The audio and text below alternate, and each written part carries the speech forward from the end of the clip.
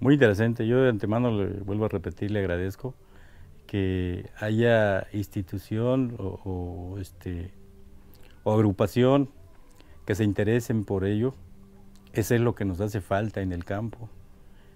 Interés de que todos los esfuerzos se sumen.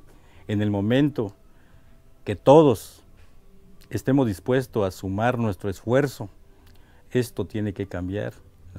Yo creo y siempre he creído en eso, en, en gentes como ustedes.